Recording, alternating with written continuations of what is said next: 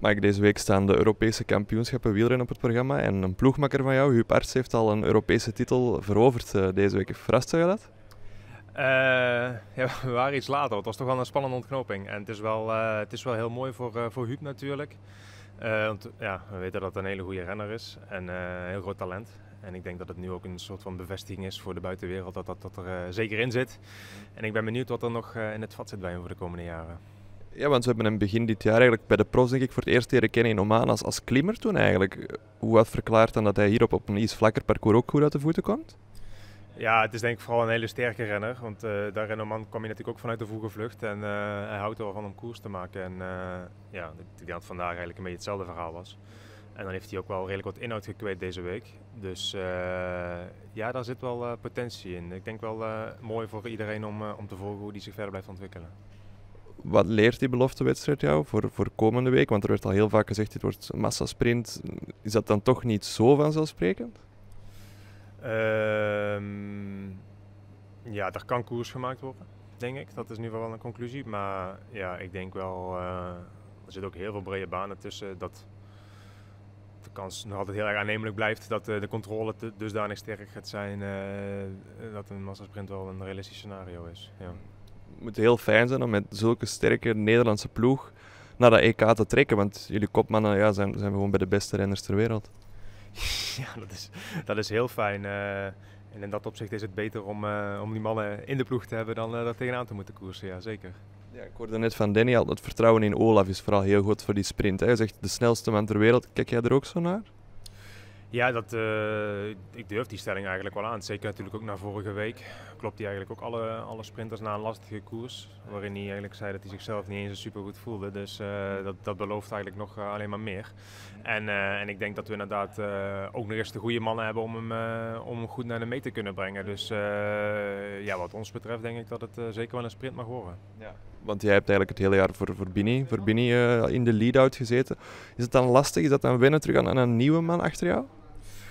Um, ja, nou ja, kijk, ik heb natuurlijk ook in het verleden nog wel eens sprints met Olaf gedaan, dus uh, dat, scheelt, uh, dat scheelt ook wel. En uiteindelijk uh, denk ik wel, ja, het is ook geen, geen hogere wiskunde. En zeker met, met mannen als Olaf en met, met Danny en, en zelfs met Mathieu, uiteindelijk weet iedereen wel een beetje wat, wat ze moeten doen. Mhm. En zeker ja, dat gevoel wat we eigenlijk hebben, dat, dat is eigenlijk het belangrijkste. En ik denk dat we een beetje op intuïtie al heel veel goede keuzes kunnen maken. Dus ja, laten we hopen dat dat dan ook gewoon, als wij in één keer in één ploeg worden gegooid, dat het dan ook uh, moet lukken. Ja. Dus er zal geen volgorde vooraf worden afgesproken? Uh, ik, nou, ik, ik, ik, denk het wel. We moeten nog, uh, moeten nog samen zitten. Maar ik denk wel dat het zeker uh, handig is om daar een, een volgorde in, in vast te leggen. Aan de andere kant denk ik dat als we daar een beetje in zouden wisselen, ja, we, dat het zeg maar ook op zijn plek zou kunnen vallen, weet je wel. Dus in dat opzicht, en misschien dat uh, een hele andere scenario is, waarin er nog een groep op het einde wordt teruggepakt waardoor een man wegvalt. Maar ik denk dat het ook een beetje een sterkte is, want wij hebben bijvoorbeeld ook nog Mick van Dijk hier, die kan ook makkelijk uh, tweede of derde man zijn. Dus ik denk dat de communicatie heel belangrijk is, maar ja, voor de rest gaan we dat op intuïtie denk ik al sowieso een heel eind komen. Ja, want ik denk dat ik mag zeggen dat die trein, de personen die de rol van lead-out kunnen invullen, ja, dat is heel indrukwekkend ook. Hè. Mathieu, jij en Danny van Poppel, dat zijn misschien ja, de drie beste lead-outs in de wereld. Ja, ik vind het uh, persoonlijk wel heel mooi om, uh, om met die mannen dadelijk een sprint voor te mogen bereiden.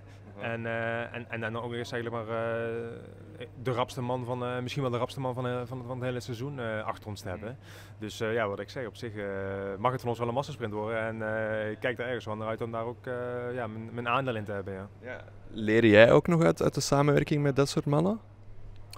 Ja, zeker. zeker. Ik vind uh, Danny misschien wel uh, de beste lead-up-man van, uh, van het peloton. En ja, Mathieu is natuurlijk Mathieu. Ehm, ja, die doet, als je hem in de Tour ziet, die doet eigenlijk ook alles zo goed. Terwijl hij eigenlijk relatief weinig massasprints doet. Dus ik kijk daar sowieso altijd wel, wel met interesse naar hoe, hoe, die bepaalde beslissingen nemen. En hoe die het eigenlijk iedere keer voor elkaar krijgen om de dingen goed te doen. En wellicht dat ik zondag ook nog wel wat van ze kan leren, ja. ja. Hoe ziet jouw seizoen er na het EK nog uit? Uh, ik rijd nog uh, GP Wallonie, uh, Super 8, Bench, Münsterland en Parijs Tours. Dus dat zijn eigenlijk allemaal nog mooie klassiekers. Ja. Waarin er hopelijk nog een mooie, mooie uitslag in zit. Ja, ook voor jezelf. ik denk dat de meesten nog wel met Biniam gaan zijn. Maar ja, als de mogelijkheden er zijn, dan, dan zullen we ze maar pakken zeker.